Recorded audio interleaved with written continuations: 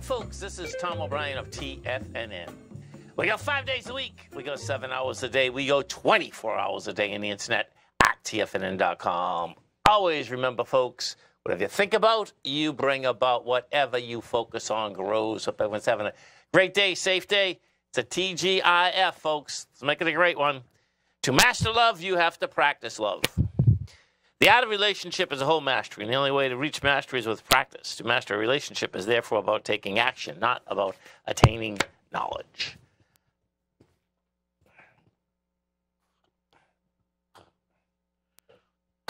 Excuse me, folks. Sorry about that.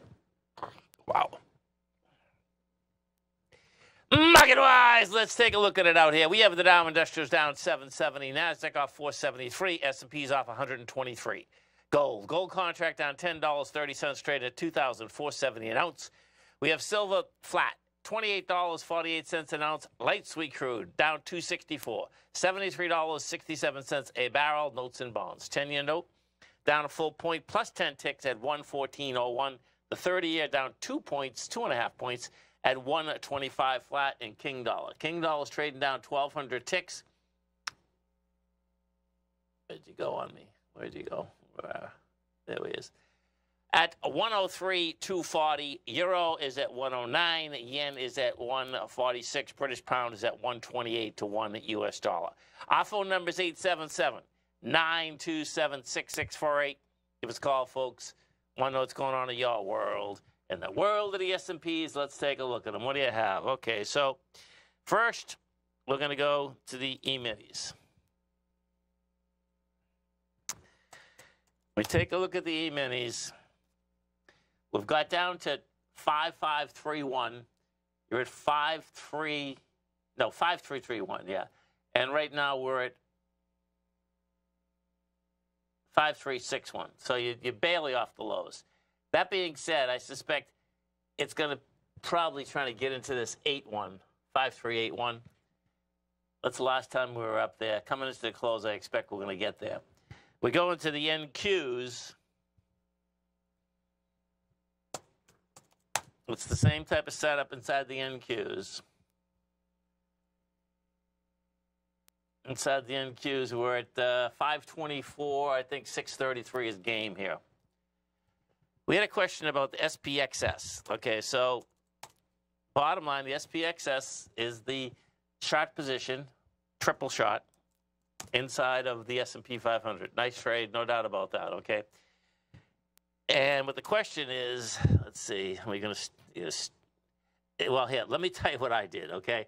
And we came in today being shot the NDX 100. We were shot the NDX 100 yesterday and today. I closed that trade on the open today because the bottom line is that, you know, we, you get two days like this. This is about as intense as you can get. Meaning that, yes, okay, so now the question is, what do you want to do with the SPXS?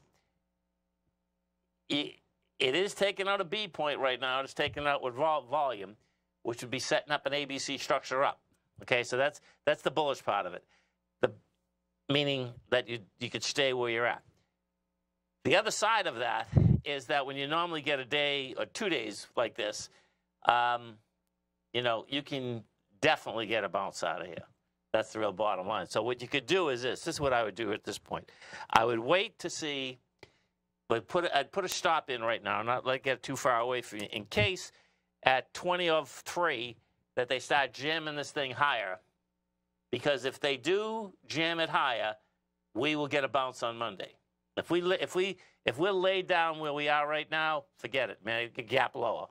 That's you know, that's that's where kind of where we stand right now. So you can kind of take that and figure out what you want to do with it. It's, a it's a tough decision. There's no doubt about that. But you got to remember that you don't get two days. Well, hey, listen, man, you can get more than two days. I've seen more than two days down like this. There's no doubt about it. Um, we're going to have monster volume out here. So you get, let's see, in NYSE already we're at 648.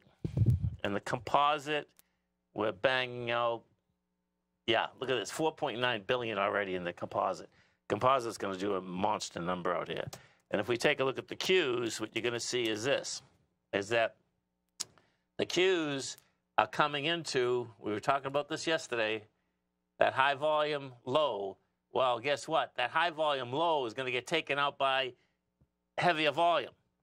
So this thing's not over, man. Even if we get a bounce, there's another. I, I suspect what we're going to do here is get out of 413 in the Qs. Right, we're at 447 right now. That's a high volume low right down there too. See it?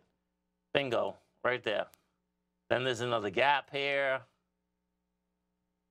This is this is a real downdraft, man. That's the bottom line. We put the spies up here.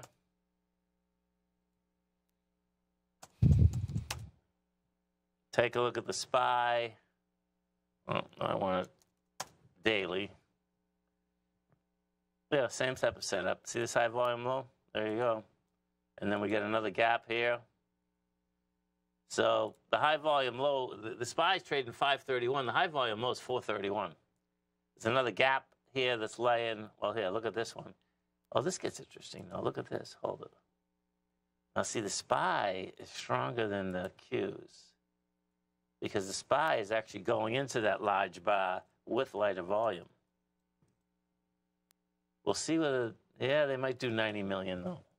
We're at 58 million right now. That bar has 90. 58.